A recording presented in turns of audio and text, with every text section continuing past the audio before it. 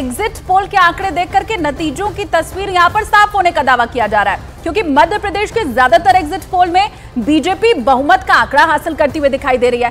कई exit poll ऐसे भी थे जिनमें बीजेपी के प्रचंड जीत दर्ज करने का दावा कर दिया गया। मतलब 2018 के जो नतीजे थे, उनसे उबरते हुए बीजेपी की तगड़ी वापसी का संकेत मिले ऐसा इसलिए क्योंकि मध्य प्रदेश के चुनाव में सात बड़े एग्जिट पोल में, चार ने बीजेपी को बहुमत मिलने की उम्मीद जताई है।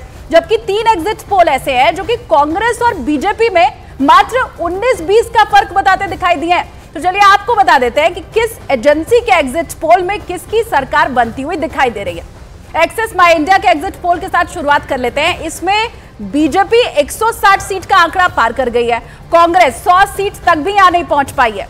और ये मात्र अकेला एग्जिट पोल नहीं है, बल्कि सीएनएक्स के एग्जिट पोल में भी बीजेपी को 140 से 160 सीटें मिलने का अनुमान जताया गया है। और कांग्रेस के खाते में यहाँ पर सिर्फ़ 80 सीट आती दिखाई दी है। अब ये दो एग्जिट पोल मैंने आपको बता दिया, जो ये साफ़ तौर पर कह रही है कि मध्य प्रदेश के अंदर बीजेपी की सरकार आती हुई दिखाई दे रही है और कांग्रेस के खाते इतनी ही सीटें मात्र आ रही हैं कि सरकार तो नहीं बन रही है, यहाँ पर कांग्रेस की। अब आगे अगर बढ़े, और ये आपने सीएनएक्स का पोल देख लिया, अब इसके आगे, टुडेज चाणक्य का एग्जिट पोल क्या कह रहा है, वो आपको बता देते हैं। कांग्रेस की चौहत्तर बीजेपी के एक सौ इक्यावन, अन्य की पाँच। अंदेशा यही है, लेकिन इशारा टुडेज चाणक्य का पोल भी यही कर रहा है कि बीजेपी की सरकार बनने वाली है मध्य प्रदेश में। अब मैट्रीज का पोल क्या कह रहा है, वो आप देख लीजिए। बीजेपी साफ़ तौर पर 118 से 130 सीट। इसमें भी मिलती दिखाई दे रही है। कांग्रेस के खाते में यहाँ भी सत्तानवे से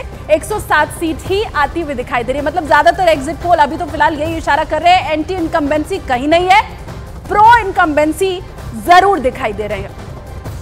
अब मनोज का मैं रुख कर लेती हूँ। मेरे सहयोगी जुड़े हुए मनोज बीजेपी के लिए तो बल्ले बल्ले वाली ये सिचुएशन हो गई है। पिछली बार के नतीजे के बाद इस बार एग्जिट पोल ऐसे नंबर्स देंगे बीजेपी को। सोचा था उसने भी। वाकई नहीं सोचा था, क्योंकि जब हम बीजेपी के तमाम बड़े नेताओं से मिले तो तमाम बड़े नेताओं का जो अनुमान था कि हम 130 सीटें तक जीतेंगे मतलब श्योर शॉर्ट विन की जो बात करते हैं, वो कहते हैं कि हम 130 सीटें जीत सकते हैं। लेकिन जिस तरह से सर्वे आए, दो सर्वे तो बीजेपी को 150 के पार भी ले गए। और जो सबसे अहम बात है, क्योंकि न्यूज़ एटीन इंडिया आपको लगातार चुनाव से जुड़ी पल पल की खबर हम जो दिखा रहे हैं, उसके बाद कांग्रेस के कैंप जो है, उसको पूरे दो दिन से लगातार एक बात कह रहा है कि जो सर्वे हैं, ये सरकार कोशिश कर रही है कि किस तरह से प्रशासन को इन्फ्लुएंस किया जाए, किस तरह से प्रशासन पर प्रेशर बनाया जाए, ये कांग्रेस का दावा है। और जो यही वजह है कि आज आज खुद पूर्व मुख्यमंत्री कमलनाथ आज भोपाल पहुँच जाएँगे। क्योंकि कल काउंटिंग शुरू होगी। साथ ही साथ जो रणदीप सुरजेवाला पार्टी के महासचिव हैं मध्य प्रदेश के प्रभारी हैं वो भी भोपाल आ चुके हैं और कांग्रेस की तरफ़ से अब तमाम कार्यकर्ताओं को ये कहा जा रहा है कि वो सजग रहें लगातार मॉनिटरिंग करें। लेकिन बीजेपी के कैंप में तो अच्छी हाँ। खासी खुशी की लहर है अच्छी खासी खुशी की लहर ज़रूर है। लेकिन यहाँ पर भी सवाल वही है राजस्थान वाला कि राजस्थान में बीजेपी जीती तो क्या वसुंधरा राजे और मध्य प्रदेश में बीजेपी जीती तो क्या शिवराज सिंह चौहान देखिए एग्जिट पोल बीजेपी को आगे ज़रूर बता रहे हैं, लेकिन मध्य प्रदेश में इसी एग्जिट पोल के आंकड़ों में पिछड़ने के बाद कांग्रेस नेता और पूर्व सीएम कमलनाथ कार्यकर्ताओं में जोश भरने का काम करते हुए दिखाई दे रहे हैं। कमलनाथ का यह दावा है कि मध्य प्रदेश में कांग्रेस की सरकार बन रही है। एग्जिट पोल के आंकड़े चाहे जो कह रहे हो। कमलनाथ ने यह आरोप लगाया कि कांग्रेस कार्यकर्ताओं का मनोबल गिराने के लिए इस तरीके के आंकड़े पेश किए जा रहे हैं। कुछ एग्जिट पोल जानबूझकर इसीलिए बनाए गए हैं कि कांग्रेस कार्यकर्ता निराश हुए और झूठा माहौल दिखाकर अधिकारियों पर दबाव बनाया जाए। ये षडयंत्र कामयाब होने वाला नहीं है।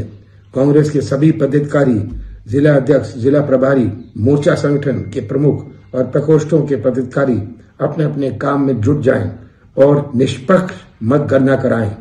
हम सब जीत के लिए तैयार हैं। हम सब एकजुट हैं। वैसे तो ये हमेशा से ही होता है कि जिसके फेवर में एग्जिट पोल के आंकड़े नहीं होते हैं, वो इसे नकार देता है। लेकिन कमलनाथ उससे एक कदम आगे निकलते हुए ये कह रहे हैं कि ये ऐसा जानबूझकर किया जा रहा है, ऐसे एग्जिट पोल के आंकड़े लाए गए हैं। देखिए, अगर एग्जिट पोल के आंकड़े सही साबित हुए और कांग्रेस तेलंगाना में सत्ता के सिंहासन पर बैठती है तो ये किसी करिश्मे से कम नहीं होगा, क्योंकि तेलंगाना में 2018 के विधानसभा चुनाव में करारी हार झेलने वाली कांग्रेस की वापसी फर्श से अर्श तक पहुँचने जैसी ये हो जाएगी। और ये के चंद्रशेखर राव और उनकी पार्टी बीआरएस के लिए बहुत बड़ा झटका माना जाएगा।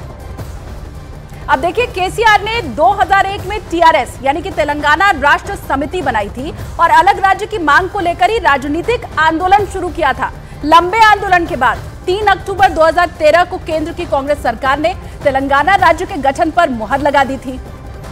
राज्य गठन के तुरंत बाद वहाँ विधानसभा चुनाव का ऐलान कर दिया गया। केसीआर नए राज्य के नए हीरो की तरह उभर कर सामने आए। कांग्रेस को यह उम्मीद थी कि नए राज्य के गठन का फ़ायदा उसे मिलेगा, लेकिन हुआ नहीं ऐसा। केसीआर को बंपर जीत मिल गई और इसके बाद 2019 में विधानसभा चुनाव लोकसभा चुनावों के साथ होने थे, लेकिन एक साल पहले, यानी 2018 में चंद्रशेखर राव ने विधानसभा भंग करके चुनाव करा दिया। अब नतीजा इसका यह रहा कि मुख्य विपक्षी पार्टी कांग्रेस 119 में मात्र 19 सीट पर सिमट गई। लेकिन राज्य में कांग्रेस के वजूद पर सवाल तब उठने लगा जब 19 में 12 विधायकों ने बीआरएस का दामन थाम लिया एक साथ। कांग्रेस के पास सिर्फ़ सात विधायक बचे रह गए थे। तो अब इस बार तेलंगाना में क्या होने वाला है? ये फ़िलहाल बड़ा सवाल अब भी बना हुआ है। हालाँकि बीजेपी ये कह रही है कि वो किंग मेकर रहेगी। एग्जिट पोल के आंकड़ों में आप चाहे भले ही बीजेपी को बहुत नंबर्स ना देख रहे हो, लेकिन आश्वस्त यहाँ पर भी बीजेपी दिखाई दे रही है। और उसका यही कहना है कि किंग मेकर वो बन सकती है और बीआरएस का तो कम से कम कई नामो निशान यहाँ दिखाई नहीं देगा। मेरे सहयोगी जसप्रीत जुड़ रही है, उनका मैं रुख कर लेती हूँ। जसप्रीत, किसके दावे में कितनी सच्चाई है, ये कल सामने आएगा, लेकिन ग्राउंड पर आप मौजूद हैं जसप्रीत। क्या कह रही है माँ की हवा? बिल्कुल, शालिनी, मैं सबसे पहले बड़ी खबर आपको बता दूँ कि जो रेवंत रेड्डी कांग्रेस के प्रदेश अध्यक्ष है, वो इलेक्शन कमिश्नर के ऑफ़िस पहुँच रहे हैं।